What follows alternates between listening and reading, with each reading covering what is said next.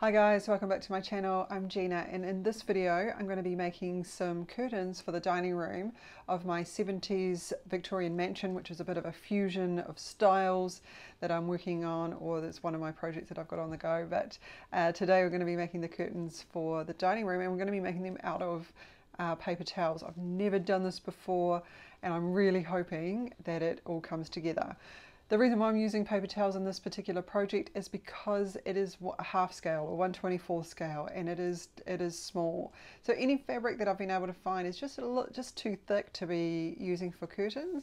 So I'm hoping that this is actually going to be thin enough to actually give me the look that I'm after. So yeah, let's have a look to see how it all come together.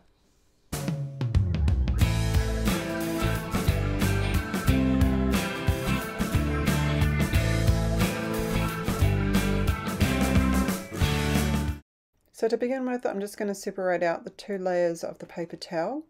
My one is actually only two ply, so it's actually only two layers that I need to separate out. So I'm just very gently easing them apart. So uh, I don't want to rip it all apart because I want to use um, both sides of the paper towel.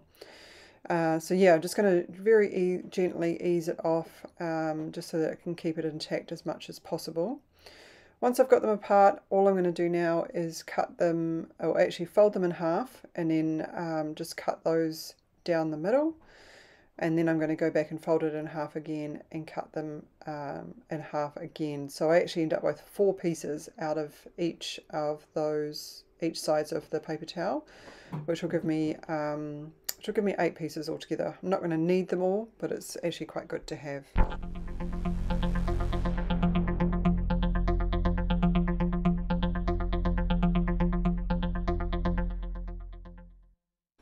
Okay, distraction over. Um, I'm just going to mix up some paint with a little bit of um, glue as well. I'm just using PVA glue. So it's a mix of paint, water and glue. And I've just used basically equal parts of that. But then I do notice that it is just a little bit thick. The paper towel just absorbs all of the moisture really quickly. So I'm just going to coat that um, in both sides and just make sure that it's well drenched into the paper towel. Um, and then I'm just going to um, gather it up. I just laid it down here thinking that I could do the same thing with fabric, but then very quickly realized that it was far too thin and needed to um, sort of uh, manage it just slightly differently um, that I would with fabric. So I'm just actually just concertining it up, just sort of gathering it together, just um, making sure that uh, it kind of looks as much like a curtain as possible. I will trim the top and the bottom once it's dry. Um, and then I'm just going to lay that out on some greaseproof paper just so that I know that once it's all dry and that glue is dry, that I can actually um, get it um, off the paper and then I can set it aside to properly dry.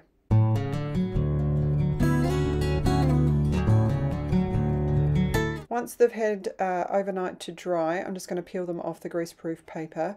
And actually, even though I cut the pieces of paper to length, with them being, with all the moisture within the glue and the paint, it's actually stretched them out a bit.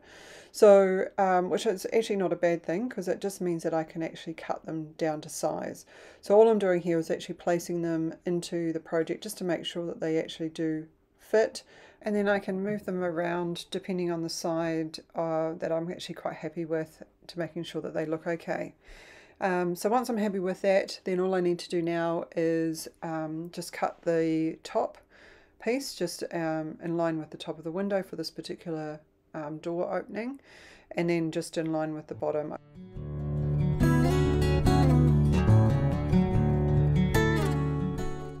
Once it's cut to length and I'm happy with it, then all I need to do now is just go in and add a touch of glue. And I'm just going to glue these directly onto the window frame. And I'm going to do that on both sides. Once I've cut them down to size, I'll go back and glue them um, as I go.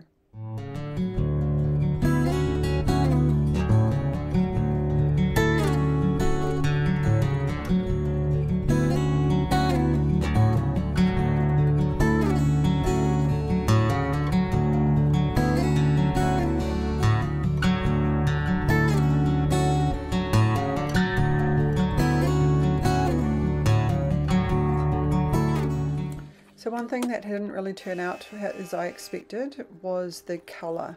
It sort of washed out as it dried. So I'm just going to have a think about what I'm going to do here.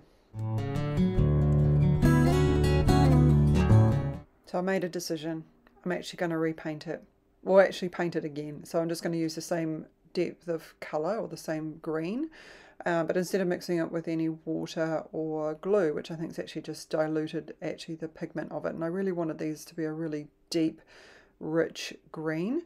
Um, I'm just going to go over them with a coat of paint. I'm not too worried about getting right into all of the details um, because it's quite dark anyway. I just wanted to make sure that it's just giving the, the depth of colour that I was looking for. So I'm pretty happy with how it turned out um, and hopefully that you will also see the difference as well. You can kind of see the difference there between the one on the left to the one on the right. Um, so yeah, hopefully you've enjoyed this video. Let me know what you think. Um, should I have added in a curtain rail or rod to add a little bit more texture? I was debating whether to do that or not, but decided to leave it out in the end.